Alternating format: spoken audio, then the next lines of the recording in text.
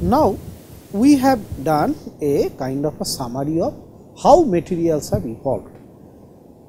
As of now, in today's scenario, if you want to take a stock of that what are the materials there in front of us, it is better to categorize them because there are many many materials. Okay. So, if I uh, think of categorizing the materials, then first thing that I can do is that I can keep the metals and alloys separately that is one group. Okay. So, starting from the metal age onwards that is continuously happening. Then I can keep the non-metals and in fact, out of the non-metals I would say that I can actually go for ceramics and then the polymers and then I can make composites. Composites are of course, it is either made from uh, you know between two polymers, polymer ceramics or metal ceramics all sorts of things. Okay. So, basically if we think of it that we can keep it as a basic subdivisions of metals and non-metals and further the non-metals in terms of because the non-metals generally only talk about uh, basic elements, but instead of that we can think of uh, the kind of suppose oxides of various types like the ceramics or the polymers or the composites. Now, among the metals also you have uh, the ferrous metals uh, like iron, steel and you have non-ferrous metals. As I told you that uh, the aluminum for example, uh, titanium okay, uh, they play a very important role in terms of uh, you know uh, the lightweight category of uh, you know aircraft alloys. For aircraft alloys they play a very important role. Okay. Then of course, you know limited amount of copper and zinc etc. Uh, tungsten again for very high temperature applications it is very good. So, there are non-ferrous which have uses in certain uh, very specific applications. So, I would rather say specific and uh, uh and high performance applications.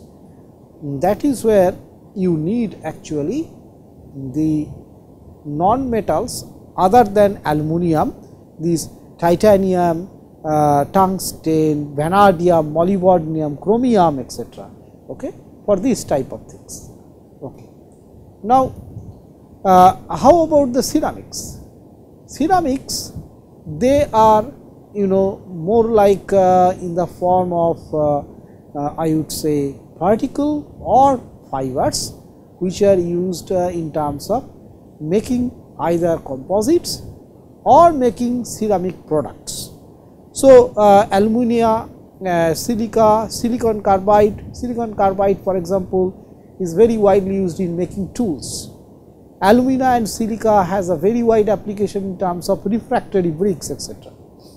Diamond is one ceramics which of course has some uh, applications in the ornamentations and some applications in terms of cutting tools because that is one of the hardest material. Then in the polymer again you can actually subdivide it into certain things like natural polymers like say wool or silk and polymers which are synthetic that are human created like polyethylene. This is polyvinyl chloride which is used for all your PVC pipes is very popular. Nylon I told you in the very beginning of uh, you know polymer adventure nylon was one of the first products which was used in uh, developing parachutes for example. Then bakelite which is used for making insulating materials for electrical applications. So, that is about the polymers. And then if we talk about uh, the composites, then we have wood as a natural composite okay. and then we have concrete we have fiberglass, we have CFRP and GFRP. CFRP and GFRP the full form are carbon fiber reinforced plastic that is CFRP and GFRP as glass fiber reinforced plastic. Same thing the reinforced reinforced plastic.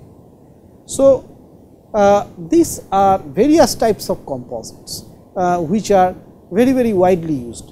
There are many in fact, but that is the kind of a broad classification that we have in terms of the uh, you know engineering materials that are available today. So, let us try to classify them. There is this very famous uh, you know pentagon uh, that is uh, developed by Ashby.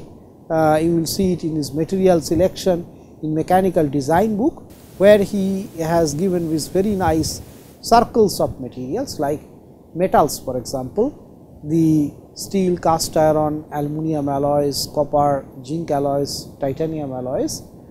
And then uh, if you come to the other uh, vertices, so one by one let us explore the vertices. So, metals that is fine, uh, you know all these things together. If you come to the polymers, then you have uh, something like polyethylene, okay, high density or low density polyethylene which is used in terms of uh, making carrying bags for example. Polypropylene, polypropylene is used for uh, making you know various types of uh, things which can resist a high temperature like feeding bottles. PET and PEK that is uh, polyethylene terephthalate or polyethylene ether ketone they are used uh, in you know in this mineral water bottle context right? And then polycarbonate is used uh, in terms of uh, once again making high performance uh, polymers like transparent polymers. Polystyrene uh, is used again for high performance polymer and polyaniline is one of the polymers which is actually a conductive polymer. So, for conductive series of polymers they have a very high use. Then it need not be that the polymers are only used for structural material. So, these are for uh, you know making products, but they are also used in terms of polyesters which is like in terms of fibers. They are also used in terms of uh, resins. These resins are used as matrices actually. So, these are used as uh, matrices for composite materials. So, that is what is the world of polymers. Now, naturally elastomers are also polymers, but they are separated out from this list because they are very specifically designed for certain purposes. One of them is shock and vibration absorption. With the advent of you can say that the automobiles you know and all the transport sector shock and vibration becomes very important because any machine or mechanism has a shock and vibration problem. So, to actually absorb that you need some kind of a material which can you know dissipate lot of mechanical energy in the form of thermal energy etc. Now, natural rubber was the first candidate towards that direction, but since in nature you know you get only a limited amount of it. So, then all other synthetic rubber started like butyl rubber and then other elastomers like neoprene, isoprene, then the silicones etc. So, this actually developed a group of elastomers. And one way in which the elastomers are characterized is that if you think of metals for example, what is the typical you know I will talk about this later on, but maybe I will just introduce at this stage that if you look at the stress strain diagram for the metal,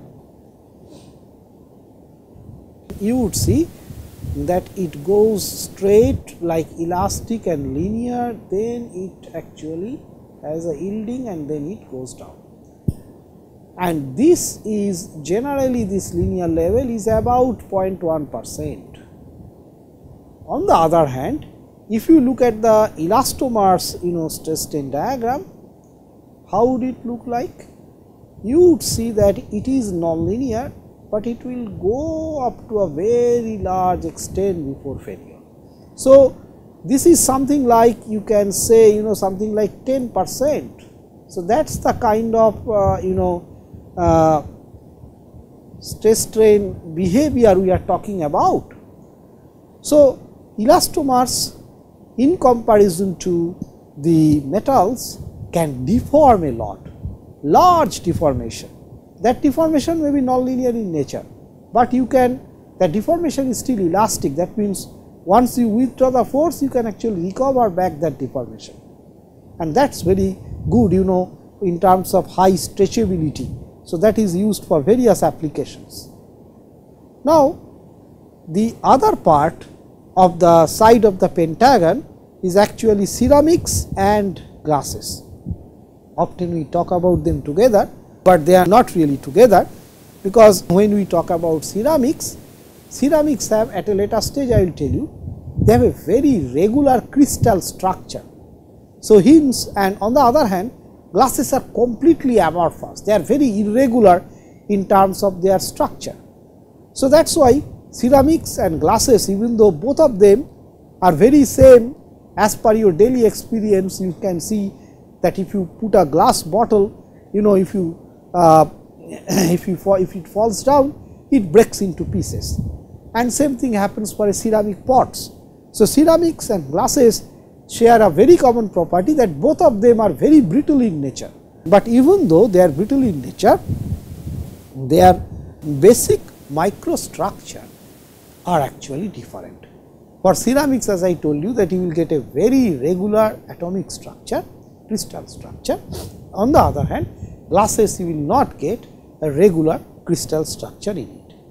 So, in the ceramics uh, there is these groups of alumina uh, which is used mostly I told you in terms of making fibers either or in terms of uh, you know refractory bricks then there is silicon carbide which is also used in terms of making tools and then zirconias is a wonderful element which is also used for making something like the piezoelectric materials some eh, you know kind of a lead zirconate titanate. So, and kind of a hybrid of this zirconia advanced ceramics one of the advanced ceramics they are used.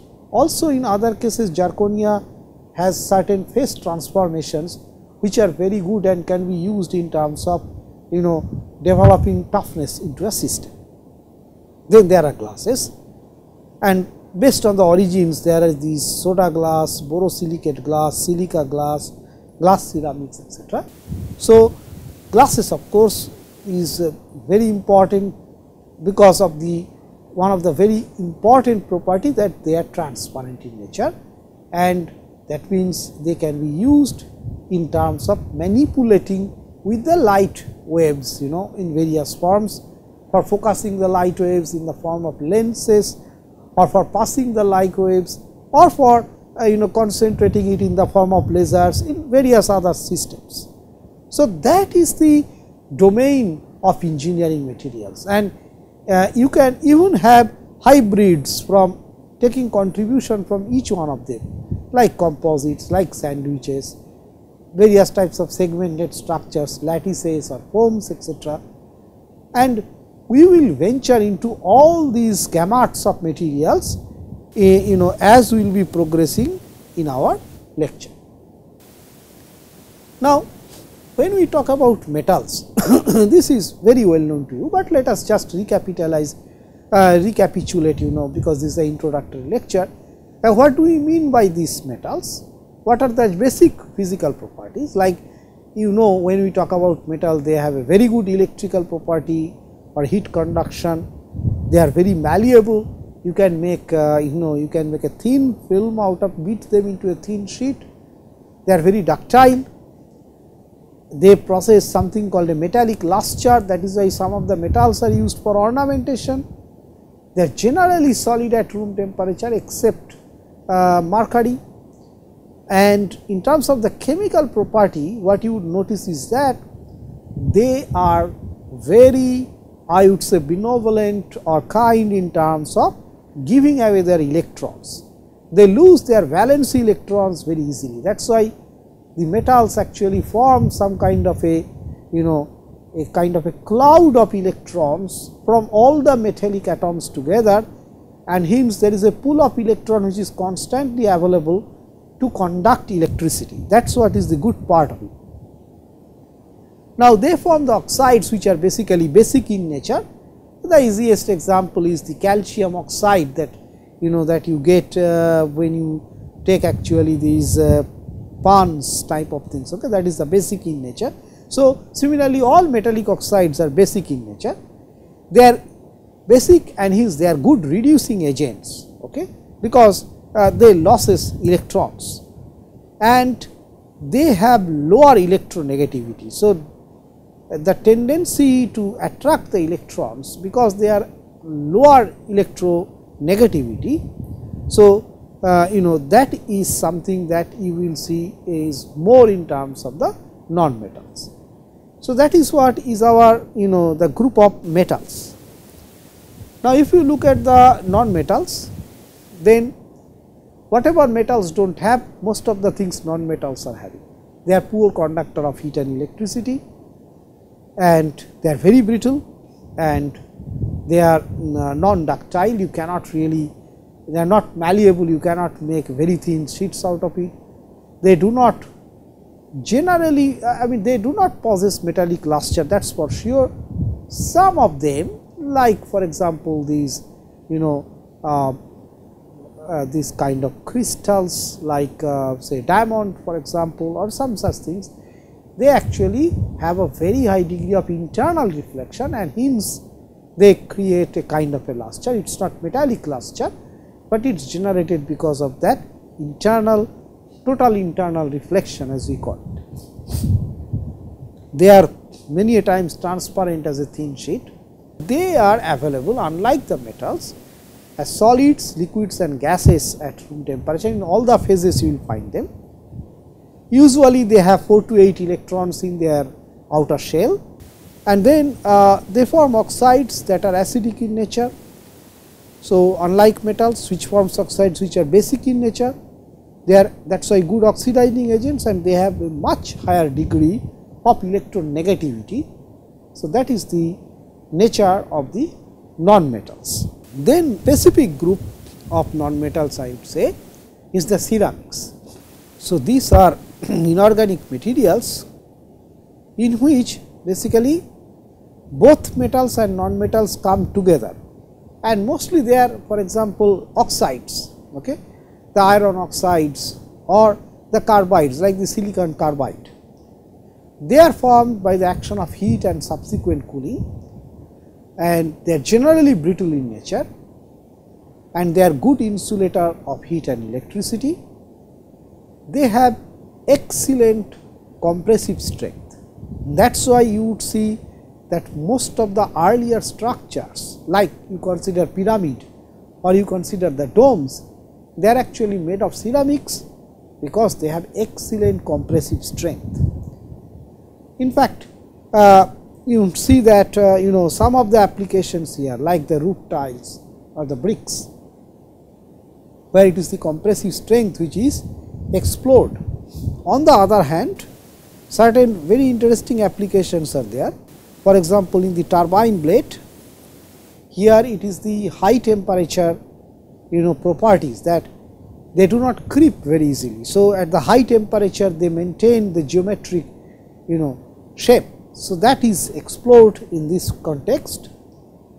Potteries once again you know uh, they they are basically explored in terms of that uh, they do not react much. So, you can actually uh, put lot of materials into it and you can use it in terms of storage system.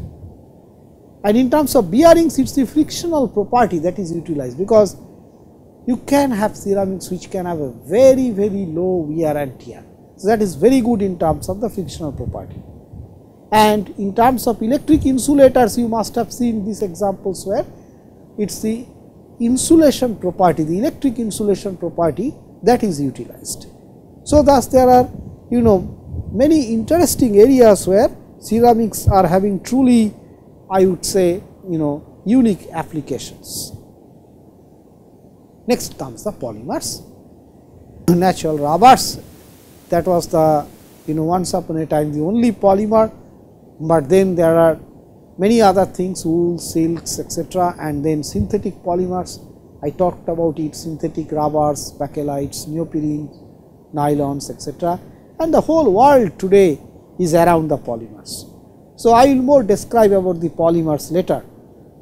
The composites.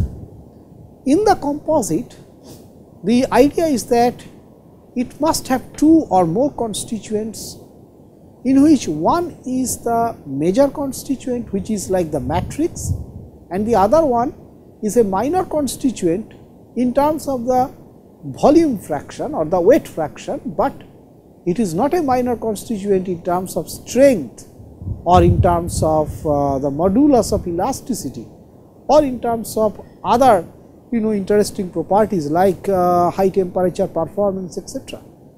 So, that is the idea in the composites that you mix two materials basically you mix one extra material on a matrix to improve substantially the property of the basic material. Consider for example, like this is an aircraft. Okay. So, uh, for this aircraft you know if you look at the wing part of the aircraft there you will see the maximum use of the composite. So, these red areas they are generally of carbon uh, fiber reinforced plastic. Okay. Then you have other areas where you will see that uh, like the belly part of it or the wing tip part of it where you will see that the Kevlar is used. Then you will also see this kind of a thing in the tip part of it. In the high temperature zones you may see like this close to the engine that there is this Kevlar sandwich with stiffening carbon you know plies. And in certain less important areas in terms of structural strength, but very important as a connecting material you will see fiberglass is used. So, one of the two advantages that composites gives us is uh, in terms of uh, what you call the lightness and in terms of the strength and modulus of elasticity. So, we actually say this in terms of specific stiffness.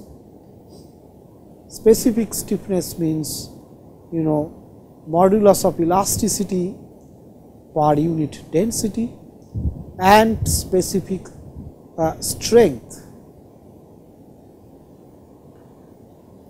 So, that means once again with respect to the weight the stiffness that you get or the strength that you get is very very high in the composites. Thank you.